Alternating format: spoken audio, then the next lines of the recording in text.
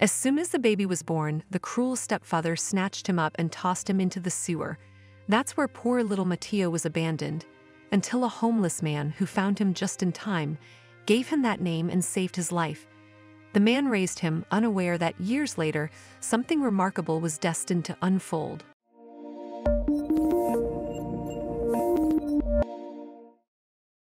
On a Friday afternoon Emiliano, a man who made a living collecting plastic waste heard the faint cry of a baby from the filthy riverbed. At first, he thought he was imagining things, but as he looked closer, he spotted a newborn lying there. With great effort, Emiliano climbed out of the putrid water, carefully placing the baby in the small wheelbarrow he used to haul the waste he collected for sale. Using the money he had earned that day, he went to the store and bought diapers, milk, and bottles for the baby, whom he named Mateo in honor of his late father. He wrapped the child in his old sweater and carried him everywhere. When his friends asked about the baby, he explained how he had found him. They all thought he was crazy to care for a child whose origins were a mystery. Meanwhile, in the house of Isabella, the child's mother, everything was in chaos. The woman who was middle class had fallen in love with an engineer working at a construction site near her house.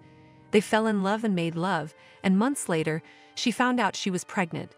When she arrived at the construction site to look for her beloved, she was told that he had suddenly been transferred to another site. Isabella was dismayed and didn't understand how fate could be so cruel to her and her child. None of the Masons knew where to find the engineer, and she was inconsolable. She arrived home, and when she told her parents what was happening, her father exploded in fury, insisting that she would have to marry someone to cover up her mistake. Juan, the girl's best friend who had always been in love with her, offered to be her husband and raise her son as his own. Juan, I don't love you, and I hope you understand that our marriage will only be for appearances, said Isabella. The man replied that he only wanted to help her. Just a month later, the wedding took place. It was supposed to be a small family ceremony, but the girl's parents invited all their friends, turning it into a grand celebration. There was everything in abundance, except happiness, Although Juan appeared joyful, Isabella couldn't hide her tears and told everyone she was crying from happiness. However, rumors started to spread. During their honeymoon, the young husband couldn't handle Isabella's rejection and began partying with her money. In the following days, things went from bad to worse. When they returned, they settled into the beautiful house Isabella's parents had given them. Juan made it clear that her father would have to cover all the expenses as he wasn't willing to work. The gentleman accepted the deal and he lived an excellent life. He would go out partying without worrying about expenses, and if the woman complained, he would remind her that, thanks to him, she wasn't seen as dishonorable in the eyes of society. He threatened that she'd better keep him happy, or he'd tell everyone that the child she was carrying belonged to another man. The man, consumed by bitterness over Isabella's rejections, decided to punish her by abandoning their child. He hired a midwife and after the baby was born, drugged Isabella with tea laced with a sleeping pill. While she slept, he took the newborn and left it in a sewer. When Isabella woke, she found the crib empty and screamed. Juan, pretending to be shocked, joined her search. They noticed signs of a break-in and assumed the baby had been kidnapped. Isabella called her parents, who involved the police, while Juan cried convincingly, hiding his guilt. The search for the child failed, but Emiliano had found him and named him Mateo. He cared for the boy as his own, waking early to wash his clothes and even bringing him to work. He tied Mateo to his chest while he hauled scrap in his wheelbarrow to sell. Despite his friends mocking him for raising another man's child, Emiliano didn't care. He had lost his own family, his wife left him for a rich man, taking their children with her. Abandoned and alone, he sold his house and built a cabin in the woods, where he now raised Mateo in peace. The boy always stayed by his side, and once he learned to walk, he even helped Emiliano collect bottles to sell for recycling.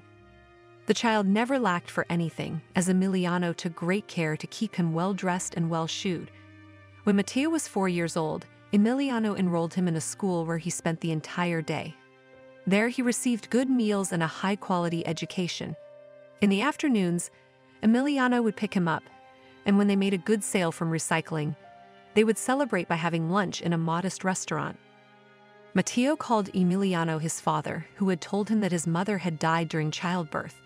The boy loved his father and promised him that one day Emiliano would no longer have to work because he would take care of him. The man cherished those words and was confident that his son would grow up to be a great man. The boy continued studying, and when he was 14, he got a job as a gardener at one of his classmates' houses. Every Saturday, he would go to mow the lawn and water the plants, a job for which he was paid a considerable amount. His father helped manage that money. When he graduated from high school, Mateo studied to become an auto mechanic, and to his surprise, his father told him that he had some money saved in the bank. He gave it to Mateo to help him set up his own shop. Mateo was thrilled and couldn't believe it. With that money, he bought the machinery and tools he needed to open his business. On the day they inaugurated the shop after the opening party, as they were both about to go to bed, the man decided to reveal the truth to his son. Mateo was surprised but ran to hug his father, thanking him for everything he had done, even though they didn't share the same blood. With even more emotion, the young man promised that soon his father would no longer have to work. Mateo's workshop struggled at first, but flourished after three months, allowing him to hire more workers. Wanting to find his biological family, he hired a detective, but after two fruitless years, he gave up. One day, the detective returned the sheet Mateo was wrapped in as a baby. A beggar outside saw it and tearfully claimed it reminded her of her lost son. Emiliano, overhearing, learned her son's birth date matched the day he found Mateo. A DNA test confirmed the beggar was Isabella, Mateo's real mother, left homeless after Juan had stolen everything from her. Mateo confronted Juan, who laughed as he admitted to throwing him into the sewer, unaware that a police officer was standing nearby. Juan was promptly arrested. In court, he was stripped of the assets he had stolen from his wife. At last, Mateo was reunited with his mother. He cared for her as she was still a young woman, and Emiliano was relieved knowing she would be there for his son when he was no longer around. The three of them lived happily, while the wicked stepfather served a 10 year prison sentence. What are your thoughts on this story? I'd love to hear your opinions, so please share them in the comments section below. Also, don't forget to like, share, and subscribe to our channel for more captivating stories. Stay tuned for our upcoming content. See you in the next video.